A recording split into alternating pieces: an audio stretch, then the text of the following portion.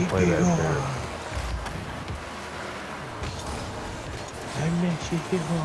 Finish it.